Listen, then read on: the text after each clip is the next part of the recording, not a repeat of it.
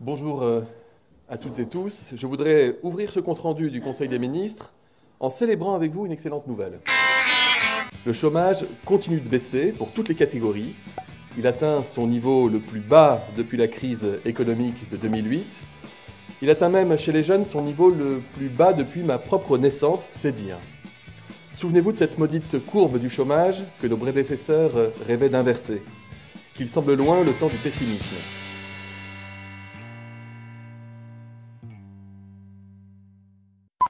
Voyez ces gens-là? Ça, c'est des gens qui sont contents de leur coup. Bah ouais, euh, le gouvernement est empêtré dans sa réforme de retraite, là, tout le monde les déteste, euh, il y a des manifs monstrueuses partout dans le pays. Alors quand les chiffres du chômage sont tombés, ça leur a donné l'occasion de pérorer un bon coup. Les récents chiffres du chômage sont bas, ce qui donc voudrait dire qu'ils sont bons, ce qui donc voudrait dire que le gouvernement a fait du bon boulot. Un chômeur, c'est quelqu'un qui est privé d'emploi, ça on le sait. Hein. Enfin, on le sait. Est-ce qu'on en est vraiment sûr? Parce que quand on regarde la définition officielle de ce que c'est qu'un chômeur, selon les gens qui calculent pour de vrai le taux de chômage, hein, eh ben, c'est un peu plus compliqué que ça. Exactement, ouais, ouais, ouais, ouais. T'es bien renseigné, toi. Dire que si le chômage est bas, c'est grâce au gouvernement qui a bien bossé, c'est aussi plus compliqué que ça. Hein. Enfin, tout dépend de ce qu'on appelle bien bosser quand on est membre du gouvernement. Hein. Parce que, disons-le tout de suite, les chiffres de Pôle emploi qui ont été célébrés par Borne, Macron et Dussopt ces derniers jours étaient bas, à cause d'un bug informatique et d'autres tripatouillages, pas franchement illégaux, mais quand même un peu malhonnêtes. Il y a toujours autant d'inscrits à Pôle emploi, au final. Alors, comment on peut avoir toujours autant d'inscrits à Pôle emploi tout en pouvant se féliciter d'une baisse du nombre d'inscrits à Pôle emploi? Pourquoi ces deux chiffres qu'on nous a présentés récemment n'ont rien à voir entre eux et entretiennent une grave confusion sur le sujet de la mesure du chômage, et quels sont les plans de Macron et ses sbires pour les chômeurs à l'heure où une nouvelle réforme est venue à bas bruit sans qu'on en parle vraiment, réduire d'un quart la durée de vos droits au chômage? On voit ça tout de suite, en parlons chiffres.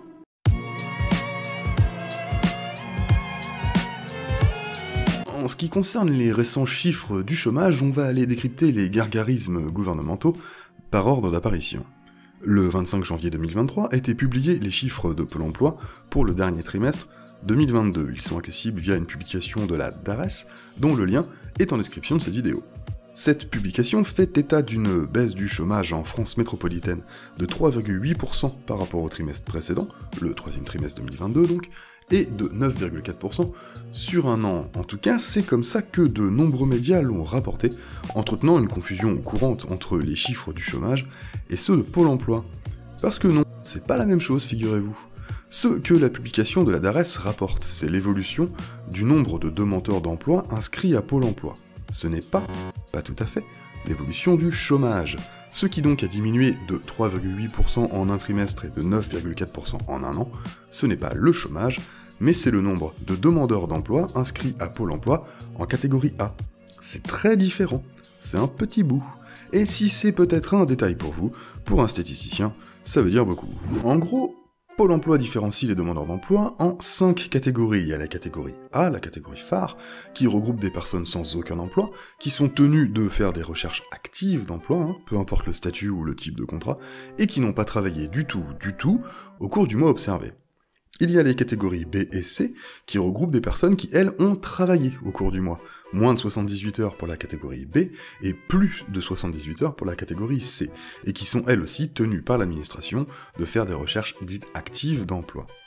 On a la catégorie D ensuite, qui regroupe des personnes qui, elles, ne sont pas tenues de rechercher un taf, parce qu'elles sont temporairement indisponibles. Elles peuvent être en formation, en arrêt maladie, bref, dans une situation qui ne leur permet pas d'être en recherche active. Et enfin, on a la catégorie E, qui regroupe des personnes qui ont un emploi mais qui restent inscrites à Pôle emploi pour tout un tas de raisons. Euh, elles ont un emploi de, courte durée et elles anticipent plutôt que de devoir se retaper toute la procédure d'inscription, ou alors elles sont en cours de création d'entreprise par exemple. Au dernier trimestre 2022, ce que dit la publication de la DARES, c'est que la catégorie A regroupait 2 834 000 personnes, les catégories B et C 2 280 000, et les catégories D et E 707 000. La baisse dont se fait état, par exemple ici Olivier Dussopt, ne concerne donc bien que les demandeurs d'emploi de catégorie A, c'est-à-dire ceux qui n'ont pas du tout travaillé, et c'est effectivement 3,8% de baisse sur un trimestre. Ce que Dussopt se garde bien de dire, c'est que le nombre de chômeurs qui avaient un peu travaillé était lui en augmentation, plus 5,2% en un trimestre pour la catégorie B, ceux qui ont un contrat euh, très court, et plus 2,3% pour la catégorie C, avec un contrat court aussi, mais un peu moins. C'est une tendance assez lourde depuis plusieurs années. En fait, depuis qu'on a érigé euh, la flexibilité des travailleurs en exemple à suivre et la précarisation des contrats de travail comme mode d'entrée sur le marché de l'emploi, hein, le nombre de chômeurs qui travaillent quand même un peu augmente régulièrement. Sur ces graphiques produits par la DARES, vous pouvez voir que le nombre de demandeurs d'emploi en catégorie A diminue assez régulièrement. Bon, à part là, oui, parce que ça c'est les périodes de confinement suite au Covid, mais euh, en général ça diminue assez régulièrement, tandis que le nombre de chômeurs inscrits, mais qui ont quand même des petits contrats de temps en temps, augmente fortement. Le fait est qu'au final, en réalité, le nombre de demandeurs d'emploi, toutes catégories confondues, a diminué de 1,1% sur un trimestre et de 4,6% sur un an. Donc par rapport aux chiffres repris un peu partout, c'est en fait 3 fois moins si on regarde l'évolution trimestrielle, et 2 fois moins pour l'évolution annuelle. Les calculs sont pas bons, Kevin. Le fait de nous présenter uniquement les chiffres de la catégorie A, alors qui est la principale bien sûr, hein, mais qui n'est pas la seule, vient biaiser notre perception du phénomène social qu'est le chômage. On aura ainsi tendance à écarter tous les travailleurs précaires qui alternent période de chômage et petits contrats, ainsi que tous les chômeurs en formation par exemple. Dans notre perception collective, un chômeur devient quelqu'un qui est totalement privé d'emploi et qui en gros euh, ne fait rien à part chercher un emploi. Alors qu'on peut avoir une vision plus large, et qui est une vision tout aussi légitime, hein, puisque tous les autres demandeurs d'emploi dans les autres catégories, bah c'est bel et bien des demandeurs d'emploi dûment inscrits à Pôle emploi. Il n'y a pas de raison de les écarter des comptes quand on les présente à la télé, dans les journaux ou en conférences de presse. Parce que la réalité pour beaucoup de demandeurs d'emploi, c'est qu'ils courent de petits contrats en petits contrats, comme des intermittents de l'usine ou des services, au gré des soubresauts du sacro-saint marché du travail. Mais ils restent précaires, et la moitié du temps, chômeurs. C'est pas une raison pour les écarter des chiffres. Une statistique, ça repose sur trois piliers. Une convention, c'est-à-dire une définition commune du phénomène qu'on cherche à mesurer, un dispositif technique, c'est-à-dire une méthode de comptage et des outils pour le faire, et un pouvoir, une organisation qui va commander, voire produire la mesure et surtout légitimer ses résultats. Je passe vite là-dessus parce qu'on verra tout ça dans une prochaine vidéo. Le problème avec la mesure du chômage, c'est qu'elle pêche souvent bah, sur les trois piliers. On dispose de plusieurs visions, plusieurs conventions de ce que c'est qu'un chômeur, hein, avec des institutions qui produisent des chiffres différents, puisqu'ils ne se rapportent pas aux mêmes définitions, on a donc des pouvoirs différents qui se tirent la bourre sur ce chiffre, voire parfois, on a affaire à des dispositifs techniques qui sont tout simplement foireux. Et c'est justement le cas avec les récents chiffres de Pôle emploi. Parce que Dussopt, Borne, Macron, et etc., ils aiment bien reprendre les chiffres de la DARES quand il s'agit de montrer une baisse du nombre de demandeurs d'emploi, dans une catégorie très précise. Ce qu'ils aiment moins en revanche, c'est rapporter également les précautions de lecture qui sont écrites en gros sur la publication même de la DARES. Là, vous voyez ce, pavé avertissement là, en gros, en rouge, ils ont même mis un point d'exclamation là Parce que moi ça, c'est typiquement le genre de truc que je lis en premier. Et qu'est-ce que ça nous apprend? Eh bien, ça nous apprend que depuis début 2022, Pôle emploi a mis en place un nouveau système pour actualiser sa situation sur son site internet quand on est chômeur. Et que ça, Hmm, ça a tendance à jouer un petit peu sur les chiffres. En gros, Pôle emploi vous présente un formulaire dorénavant pré-rempli, avec vos informations qui ont été pré-récoltées, un peu comme pour la déclaration d'impôt, quoi. Et vous n'avez plus qu'à valider. J'insiste, il faut valider, hein, ou alors vous perdez vos droits. Sauf que, hmm, parfois, le formulaire pré-rempli, il comporte des erreurs. Mais vous pouvez pas les corriger. La seule option que vous avez, c'est de valider le formulaire avec vos erreurs, ou bien perdre vos droits. Ce qui est inquiétant, et ça c'est Mediapart qui le révèle dans un article, c'est que pour un nombre non négligeable de demandeurs d'emploi qui n'avaient pas travaillé du tout au cours du dernier mois, le formulaire indiquait qu'ils avaient effectué une heure de travail. Ce qui les fait passer dans la catégorie B, qui elle n'est pas commentée par les pouvoirs publics. Attention, c'est pas négligeable du tout, on estime que la moitié de la baisse du chômage en catégorie A est due à cette nouvelle procédure d'utilisation, et au bug entre mille guillemets des une heure de travail chez des chômeurs qui n'avaient en fait pas travaillé du tout. Ça on a fait basculer certains dans la catégorie B, Ou encore, ça en a poussé d'autres vers la sortie. Hein. Euh, ceux qui n'ont pas souhaité valider le formulaire pré-rempli de peur de faire une fausse déclaration, par exemple. Ils ont tout simplement été euh, radiés de Pôle emploi.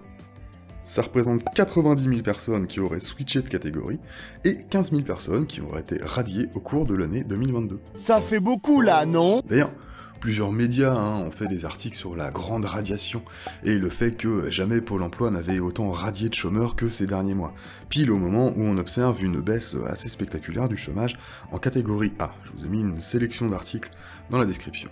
Seulement, on l'a vu, entre le troisième et le quatrième trimestre 2022, il y avait presque autant de chômeurs inscrits à Pôle emploi en fait. En nombre absolu, ça fait 64 000 personnes de moins. Alors, c'est pas rien, hein, mais euh, ramené aux 6 millions d'inscrits au total, ça impressionne quand même un peu moins. Je le répète, un nombre de plus en plus grand de demandeurs d'emploi alterne entre période de chômage et contrats courts et bascule de manière pérenne ce qu'on appelle le précariat. Le gouvernement peut bien faire le beau en montrant des taux en baisse, ça change pas grand chose aux conditions de vie concrètes des personnes. Hein. C'est pas parce que vous faites baisser le taux de chômage que vous influez réellement sur le phénomène qu'est le chômage. C'est comme la carte et le territoire. C'est pas la même chose. So beat it. Just beat it. Alors, je vous ai parlé de Pôle emploi, mais il est maintenant temps que je vous parle du Bureau international du travail. Parce que le 14 février, c'était la fête des amoureux des statistiques, hein, la publication des chiffres du chômage, les chiffres officiels, pas ceux de Pôle emploi, hein, mais ceux de l'INSEE, qui sont récoltés via une enquête qu'on appelle l'enquête emploi. Alors, c'est pas original du tout, mais au moins c'est dans le thème.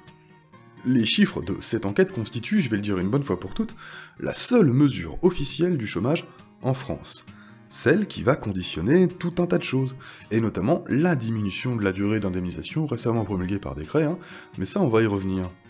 La mesure du chômage, c'est un truc passionnant, voilà, je pourrais en parler des heures, mais on va dire, pour résumer, que c'est quelque chose qui est standardisé à l'échelle internationale, avec une définition commune cette fois, que tous les pays mettent en œuvre au moment de faire leurs mesures. Cette définition, c'est bien celle du Bureau international du travail, le BIT. On prononce bien chaque lettre. Et pour le BIT, un chômeur, c'est quelqu'un ou quelqu'une qui, en âge de travailler, c'est-à-dire qui a entre 15 ans et l'âge légal de départ en retraite, n'a pas travaillé du tout, même pas une heure au cours d'une semaine de référence qui sera celle de l'enquête, qui est disponible pour travailler dans les deux semaines qui viennent, et donc qui n'est pas malade, qui n'est pas en formation, qui n'est pas euh, indisponible pour je sais quelle raison, qui a fait des démarches de recherche d'emploi au cours du mois précédent, ou bien qui a trouvé un emploi qui commence dans les trois mois qui suivent l'enquête. Voilà ce que c'est précisément un chômeur. C'est compliqué, mais c'est compliqué Le taux de chômage, du coup, c'est le nombre de personnes qui cochent toutes ces cases-là, rapporté à la population dite active, en gros, euh, la population des 15-64 ans en âge de travailler. C'est pas bêtement quelqu'un qui n'a pas de travail, hein, c'est plus précis que ça. C'est pas forcément quelqu'un qui est inscrit à Pôle emploi non plus. On peut très bien être inscrit à Pôle emploi et ne pas être comptabilisé comme chômeur au sens du BIT. En fait, selon la définition du BIT, seuls les inscrits en catégorie A pourraient être des vrais chômeurs, entre guillemets. Et encore, 10% des inscrits dans cette catégorie ne seraient pas pris en compte, je vous mets un article en description qui résume ça. On peut aussi très bien, à l'inverse, ne pas être inscrit à Pôle emploi, mais cocher toutes les cases pour être pris en compte par le BIT. Parce que la définition du BIT pose tout un tas d'autres problèmes que celle de Pôle emploi. Parce qu'elle va mettre de côté un tas de situations particulières qu'on regroupe sous l'appellation du halo autour du chômage. Pour être cristal clair, l'INSEE a calculé que le taux de chômage au sens du BIT en France à la fin 2022 était de 7,2%, ça représente 5 millions de chômeurs à peu près. À comparer avec les 6 millions et quelques d'inscrits toutes catégories confondues à Pôle emploi, ou avec les 2,8 millions pour la seule catégorie A, il n'y a aucun chiffre qui match là. Dans le halo autour du chômage, qui regroupe des personnes qui aimeraient bien travailler mais qui n'ont pas fait de recherche durant le mois de l'enquête par exemple, ou qui sont pas disponibles dans les deux semaines, parce que c'est ric on compte 1,9 million de personnes supplémentaires. C'est 4,5% de la population en âge de travailler. Et cette proportion, elle, elle ne diminue pas, contrairement au chômage. On en est à euh, plus 0,2 points par rapport à l'année précédente, donc on va considérer que ça stagne, marge d'erreur, tout ça. Avec ces effets de vase communicant, les nouvelles sont à prendre avec modestie sur la baisse du taux de chômage, hein, conclut Mathieu Plane, qui est économiste à l'OFCE. Tu m'étonnes. Je vous invite euh, fortement euh, à aller voir la vidéo que le petit Dèche a faite sur le sujet de la mesure du chômage. C'est brillant, c'est clair, c'est bien expliqué. Et c'est concis, et à la fin vous avez tout compris à ces histoires de, euh, définitions différentes entre Pôle emploi, le BIT, les problèmes que ça pose, qu'est-ce qui se cache derrière le halo autour du chômage. C'est super intéressant. Je, je vous en mets juste un petit bout, tiens. Le taux de chômage le plus souvent cité est celui de l'INSEE, qui consiste à diviser le nombre de personnes au chômage par la population active. Au dernier trimestre 2021, le taux de chômage était de 7,4%, soit le niveau le plus bas depuis 2008. On a donc envie de se réjouir. Moins de chômage, ça veut dire moins de pauvreté, non? Le premier problème, c'est que l'INSEE utilise une définition très restreinte du chômage, puisqu'il faut être sans emploi, disponible sous deux semaines et en recherche active. Alors qu'à Pôle emploi, pour être comptabilisé dans la catégorie A, il n'y a pas de critère de disponibilité. Il suffit d'être sans emploi et en recherche. Les définitions ont beau être proches, Pôle emploi trouve un chômage d'au moins 11,3%, qui dépasse largement celui proposé par l'INSEE. Et si on regarde dans le passé, on voit que ces deux approches racontent des histoires assez différentes. Deuxième problème, les chiffres proposés par les deux organismes ne se concentrent que sur les personnes sans aucun emploi. Ils excluent donc toutes celles et ceux qui ont un emploi mais n'en ont pas assez et veulent bosser plus. Lorsqu'on inclut ces personnes pour élargir la notion de chômage à celle de manque d'emploi, l'INSEE et Pôle emploi estiment tous les deux qu'une personne active sur 5 n'a pas Il ne faut donc pas confondre les chiffres de Pôle emploi et ceux de l'INSEE, le taux de chômage au sens de Pôle emploi et le taux de chômage au sens du BIT. Maintenant, vous savez.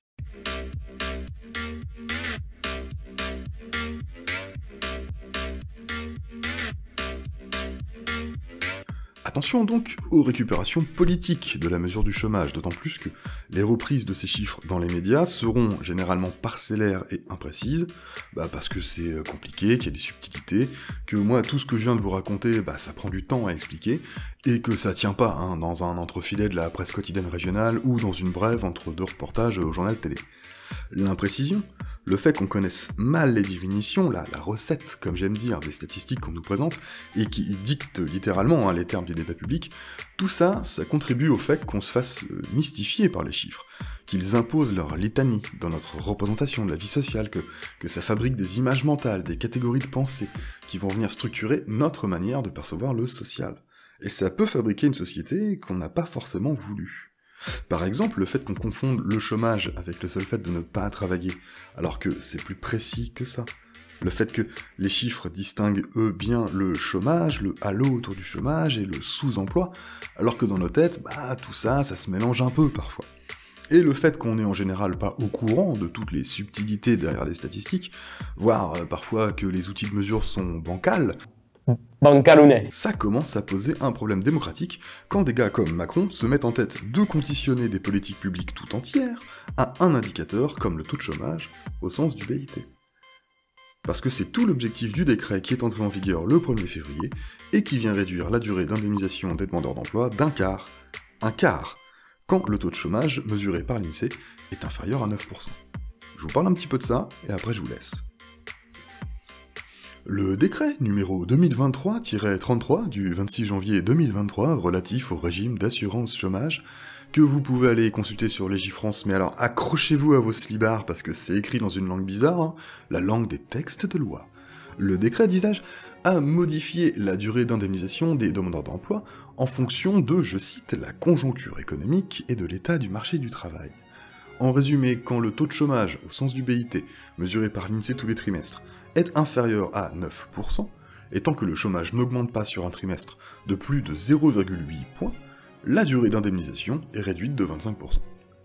Dès lors que le chômage repasse à un niveau égal ou supérieur à 9% de la population active, ou qu'on voit une augmentation de 0,8 points ou plus sur un trimestre, tous les chômeurs en fin de droit se verront accorder ce que le décret nomme un complément de fin de droit, qui ramènera ces droits à leur durée initiale, c'est-à-dire bah, la même durée qu'avant le décret.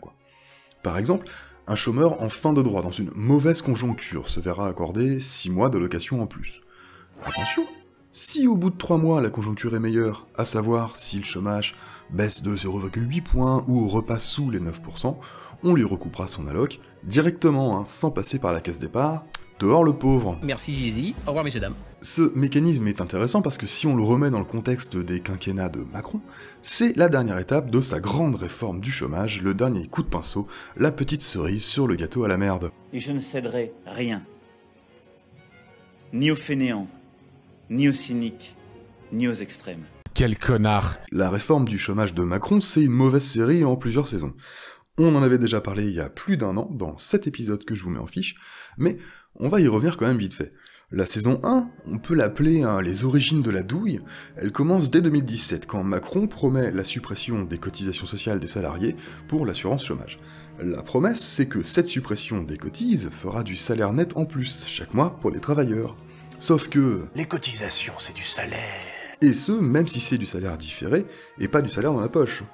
La suppression des cotisations est finalisée au 1er octobre 2018 et le financement de l'UNEDIC est du coup assuré par le biais de la CSG, qui n'est pas une cotisation mais un impôt, ça a son importance. Aujourd'hui, la caisse d'assurance chômage c'est donc uniquement financée par les cotisations des employeurs, les patrons quoi, et par une part d'impôt, la CSG, payée par tous, mais qui n'est pas une cotisation, attention, c'est un impôt. La différence est importante. Bah oui, parce que si vous cotisez, vous avez vos chapitres et surtout à la gestion de la caisse. Vous pouvez influer sur les décisions de la mutuelle à laquelle vous avez cotisé, mais vous ne pouvez rien dire à celle où vous ne cotisez pas. Et bah là, en un tour de main, Macron a sorti les travailleurs de la gestion de l'assurance chômage. Touche pas au Grisby, sale CGT Deuxième saison, on change quelques personnages principaux, mais l'esprit reste le même, hein. c'est le retour de la douille. On est en 2021 et la réforme Pénicaud-Borne prévoit de réduire le montant des allocations chômage par le truchement d'un petit tour de passe-passe sur le calcul de la durée de cotise. Je vais pas entrer dans le détail, mais en gros, il faut avoir travaillé plus longtemps pour ouvrir les droits au chômage, 6 mois au lieu de 4 auparavant, et le montant des allocations diminue, et parfois drastiquement en fonction des situations personnelles. Retenez ça, c'est très important, le montant des allocations avait diminué.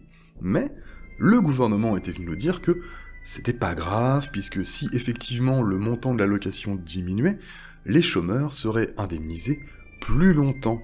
Donc au final, c'était kiff-kiff. Bon, sauf qu'on a vu qu'au final, c'était pas kiff-kiff du tout, parce que le résultat, c'est que les chômeurs indemnisés avaient juste le droit d'être plus pauvres pendant un peu plus longtemps. L'UNEDIC a récemment produit un bilan qui montrait que les allocations avaient baissé de 16% en moyenne et que le nombre de chômeurs n'ayant pas droit du tout à une indemnisation avait augmenté d'une manière jamais vue. Euh, c'est 64% des demandeurs d'emploi qui n'ont droit à aucune indemnité depuis la réforme, quand c'était 59% auparavant. Muriel Pénicaud et Elisabeth Borne, qui s'étaient succédés au poste de ministre du Travail à l'époque, avaient bossé sur une réforme qui baissait les allocations, tout en augmentant la durée d'indemnisation. Et je me souviens m'être dit à l'époque, c'est vraiment bizarre comme réforme. Bon, on a eu un épisode spécial entre la saison 2 et la saison 3, hein, sous forme d'un téléfilm que personne n'a vraiment trop regardé, hein, mais qui était vachement important pour le lore. C'était la douille Holiday Special, quand le gouvernement a fait passer une loi au Parlement qui l'autorise dorénavant à modifier les règles d'indemnisation du chômage par simple décret. Et donc la saison 3, elle commence maintenant, c'est grosse douille endgame, avec une diminution de la durée d'indemnisation, alors même que la précédente réforme avait déjà baissé le montant, hein, mais avec le côté sucré, comme on dit maintenant, d'une augmentation de la durée d'indemnisation, sur laquelle on est donc revenu. Il s'agit donc avec ce nouveau décret, bah, d'une part de passer au-dessus des partenaires sociaux et de ce qu'on appelle le dialogue social, puisque maintenant le gouvernement peut prendre n'importe quelle décision par décret. Il s'agissait après d'annuler l'augmentation de la durée d'indemnisation, mais sans réaugmenter bien entendu le montant des pensions mensuelles. Du coup, le chômeur a le droit d'être plus pauvre, pendant moins longtemps. C'est du génie Est-ce que j'irais jusqu'à dire que tout était calculé d'avance? Ah, J'en sais rien en fait, mais euh, c'est bien possible. Et surtout, euh, Macron vient adosser le petit mécanisme sur le taux de chômage. Alors, est-ce que le taux de chômage, c'est le meilleur indicateur pour exprimer l'état de la conjoncture économique et l'état du marché du travail? Non. On ne sait pas pourquoi le gouvernement a choisi cet indicateur plutôt qu'un autre.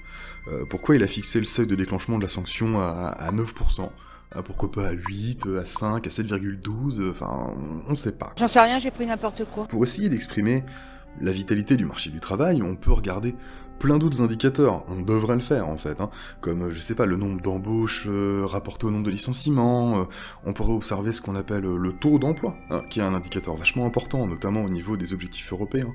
On pourrait regarder euh, le taux de défaillance des entreprises, le nombre de plans de licenciement, le nombre d'emplois vacants, bref, choisir un seul indicateur pour y adosser des décisions politiques, c'est tout sauf anodin. Et là, pour le coup, euh, bah, on a vraiment l'impression que le gouvernement a pris le truc par-dessus la jambe. Voilà, je vous laisse méditer là-dessus. Nous, on se retrouve très bientôt pour une prochaine vidéo. À la prochaine fois.